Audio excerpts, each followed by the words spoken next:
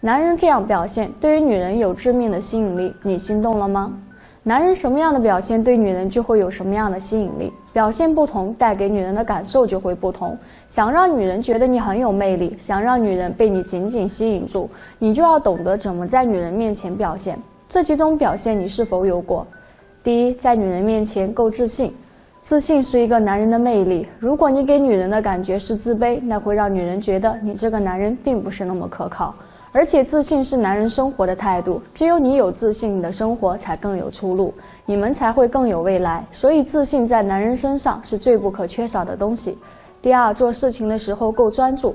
毋庸置疑，最认真、最专注的男人，也同样会对女人有很大的吸引力。你的专注是你吸引女人最大的资本，哪怕你是一个很普通的男人，你的专注也同样会成为吸引女人的利器。只是你能否做到这样专注，能否做到这样认真呢？第三，面对女人的时候情商高。你情商越高，你在女人面前就会越有资本，你吸引女人的方式也会与众不同。你的情商也同样决定了你能否被女人看中。而且情商也决定了你事业的高度，因为有情商的男人在处理问题的时候会让人更舒服，在生活面前也会让人更容易让人接近。这三种表现，如果你身上都有，那你就会对女人有很强的吸引力，女人在你面前也会因为你的吸引力而更看重你，你也会成为女人眼里的黑马。